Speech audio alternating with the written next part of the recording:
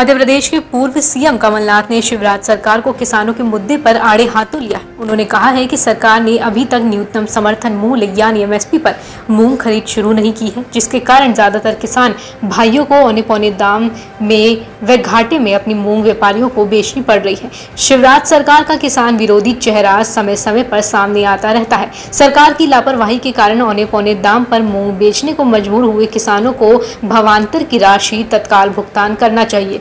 वहीं एक ट्वीट करके कमलनाथ ने कहा कि शिवराज सरकार की लापरवाही व लेट लतीफ से प्रदेश में मूंग उत्पादक किसान एक बार फिर घाटा उठा रहे हैं। जब मूंग की खरीद शुरू हो जानी थी, तब सरकार सोई हुई थी और किसान की निरंतर मांग और विरोध के बाद देरी से केवल रजिस्ट्रेशन शुरू किया, जबकि भारत सरकार से मूंग खरीदी की अनुमति मिली हुई थी और आचार संहिता से भी इसका कोई संबंध नहीं है।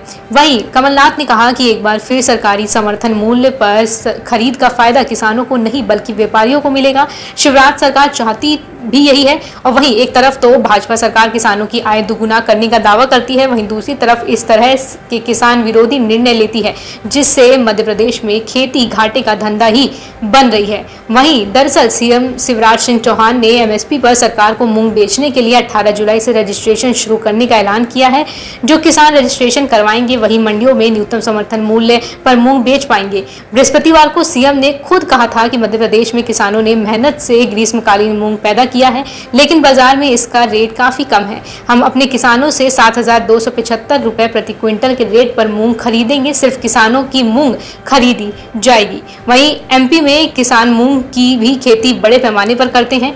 इस साल किसानों ने बड़े पैमाने पर ग्रीष्मकालीन मूंग की खेती की थी, क्योंकि पिछले साल एमएसपी पर अच्छी खरीद की वजह से उन्हें अच्छा दाम मिला था। लेकिन इस साल अब तक खरीद नहीं हुई है, जिसकी वजह से किसानों को मजबूरन एमएसपी के मुकाबले 2000 से 2500 रुपए प्रति क्विंटल कम दाम पर। व्यापारियों को मूंग बेचनी पड़ रही है, इसलिए कमलनाथ को सरकार पर आरोप लगाने का मौका मिल गया। Bureau report, market times TV.